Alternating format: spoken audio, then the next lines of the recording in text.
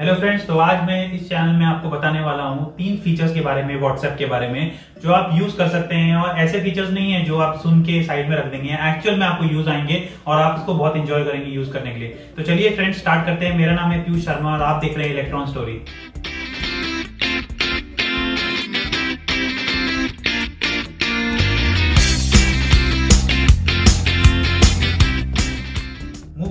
पहले फीचर की तरह बहुत बार ऐसा होता है कि आप एक ग्रुप में बैठे हैं और कहीं अपने फ्रेंड्स के साथ बैठे हैं फैमिली के साथ बैठे हैं और आपको एक मैसेज आता है।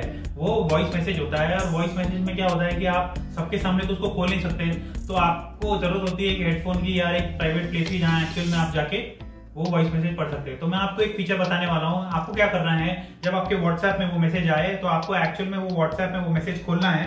और उस मैसेज में वो जो रिकॉर्डिंग आया है, वो रिकॉर्डिंग आया है, उसको प्ले करके अपने अपने मोबाइल को व्हाट्सएप स्क्रीन के साथ अपने कान में लगा देना है। तो एक्चुअल में क्या होगा कि जो साउंड है, वो स्पीकर से ना आके आपके ईयरपीस से आएगा। तो आपको कहीं जाने की ज़रूरत नहीं है और प्राइवेट होगा, सिर्फ़ आप ही सुन सकते हैं। तो ये था पहला फीचर तो चलिए फ्रेंड्स चलते हैं दूसरी ट्रिक की तरफ़। इस ट्रिक में अगर आपको पता लगाना है कि ये आपके मैसेज दूसरी पार्टी के तक पहुँचा है कि नहीं, और उसने आपका मैसेज पढ़ा है कि नहीं, आपके पास कौन सा वे एक ही वे है कि उसमें ब्लूटिक आता है। पर ऐसा भी होता है कि आगे वाला पार्टी आपका मैसेज पढ़ ले और वो उस आपको ब्लूटिक ना आए तो आप पता कैसे करेंगे कि आपका मैसेज उसने पढ़ा है कि नहीं? तो इसके लिए वे है कि आप इस मैसेज के बाद एक स्मॉल सा वीडियो वॉइस मैसेज भेज दें उसको। तो इससे क्या होता है वॉइस मैसेज अब जाएगा और वो उसको पढ़ेगा तो ब्लूटेक आ जाएगा। उसके नोटिफिकेशन ऑफ़ करने से उस वॉइस मैसेज को कोई इफ़ेक्ट नहीं होगा और आप पता लगा सकते हैं कि एक्चुअल में उसने आपका मैसेज पढ़ाया कि नहीं। तो ये था फ्रेंड्स मेरा दूसरा ट्रिक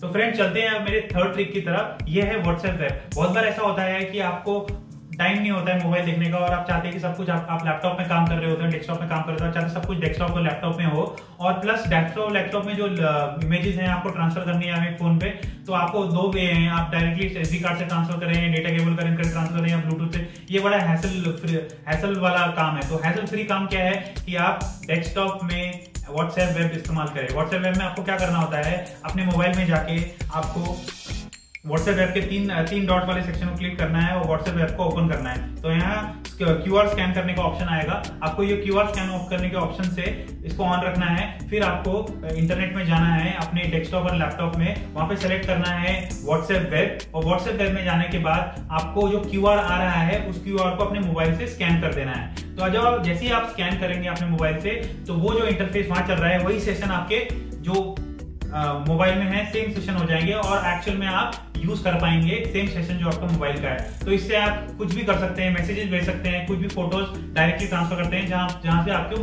मोबाइल की ज़रूरत नहीं पड़ेगी। तो फ्रेंड्स ये था मेरा तीसरा ट्रिक आई होप गाइज़ आपको ये मेरे ट्रिक्स पसंद आए होंगे। चलिए फिर मिलते हैं नेक्स्ट वीडियो में कुछ नए ट्रिक्स के साथ। तब तक के लिए stay connected stay safe and stay happy